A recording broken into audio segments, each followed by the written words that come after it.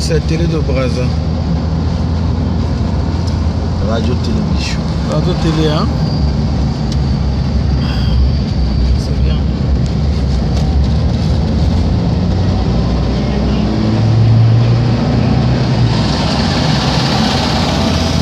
Et par ici, c'est grand. Hein.